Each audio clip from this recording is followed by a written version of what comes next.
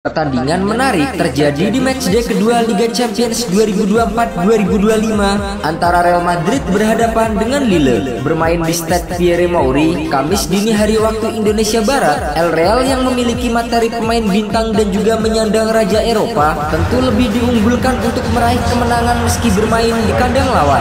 Apalagi di pertandingan pertama, Lille gagal meraih kemenangan setelah tumbang 2-0 di markas Sporting Lisbon. Tampil tanpa kiper utama mengamati Thibaut Courtois yang mengalami cedera, pelatih Carlo Ancelotti menurunkan Andre Lunin di bawah Mister Gawang. Sementara itu untuk posisi lini depan, Kylian Mbappe juga disimpan sebagai cadangan dan sebagai gantinya, duet Vinicius dan Endrick dipercaya sebagai juru gedor El Real. Di sisi lain, Lille yang menurunkan formasi 4-2-3-1 mengandalkan Jonathan David sebagai ujung tombak tuan rumah. Hasilnya, baru 6 menit laga berjalan, Real Madrid langsung membuka peluang lewat sepakan Vinicius Junior dari luar kotak penalti. Namun, bola masih bisa diamankan oleh kiper Lille Lucas Cavalier. Kesempatan kembali dibuat Madrid pada menit ke-19. Namun kali ini, bola tembakan Endrick yang bisa dibendung oleh Cavalier. Memasuki menit ke-27, Lille berbalik mengancam pertahanan Real Madrid yang dijaga oleh Rudiger dan Eder Militao. Namun, dua percobaan Jonathan David dari sundulan dan bola rebound mampu digagalkan oleh Andri Lunin. Jelang turun minum, Petaka menghampiri Real Madrid setelah wasit menunjuk titik putih menyusul handsball yang dilakukan oleh Eduardo Camavinga. Jonathan David yang maju sebagai eksekutor penalti Lille sukses menjebol gawang Lunin setelah mengarahkan bola ke pojok atas. Skor 1-0 untuk tuan rumah bertahan hingga jeda. Di babak kedua, Lille hampir menggandakan keunggulan 9 menit babak kedua berjalan. Namun, sepakan bola melengkung Zegrova masih meleset dari sasaran. Untuk menambah daya gedor, Madrid memasukkan bintang-bintang seperti Kylian Mbappe, Luka Modric dan Arda Güler untuk memecah kebuntuan. Namun, pertahanan Lille tetap kokoh.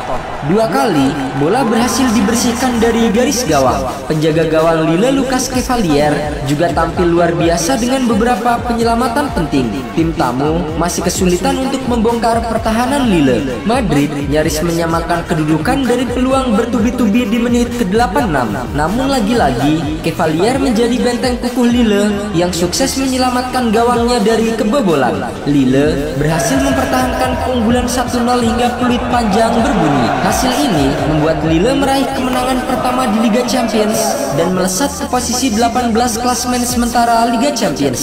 Sementara bagi Real Madrid, kekalahan ini menjadi kekalahan pertamanya di Liga Champions musim ini dan membuat pasukan Don Carlo tertahan di urutan 17 klasmen dengan 3 poin. Meski hanya mencetak satu gol lewat penalti Jonathan David, namun kemenangan Lille atas Real Madrid bukanlah kemenangan yang kebetulan.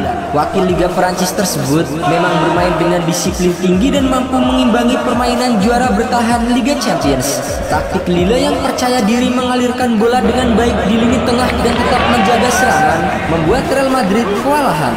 Kemenangan ini menjadi momen yang bersejarah. Sebelumnya, Lille hanya mampu meraih satu kemenangan dari 15 laga kandang terakhir terakhir di Liga Champions dengan enam kali imbang dan delapan kali kalah. Dengan kualitas yang ditunjukkan di semua lini, tim asuhan Bruno Genesino ini tampak bakal menghadirkan lebih banyak kejutan di Liga Champions. Di sisi lain, Real Madrid yang diasuh oleh pelatih Carlo Ancelotti datang ke pertandingan ini dengan rekor tak terkalahkan dalam 36 laga kompetitif terakhir sejak kekalahan 4-2 setelah perpanjangan waktu melawan Atletico Madrid di ajang Copa del Rey pada Januari lalu. Di Liga Champions, Los Blancos juga tak terkalahkan dalam 14 pertandingan terakhir. Mereka meraih 10 kemenangan dan 4 kali imbang. Real Madrid secara total tak terkalahkan dalam 15 laga di kompetisi klub UEFA. Berikutnya, Real Madrid akan menghadapi tiga pertandingan berat di Liga Champions saat menjamu Borussia Dortmund dan AC Milan secara beruntun serta bertandang ke Anfield markas dari Liverpool pada November mendatang.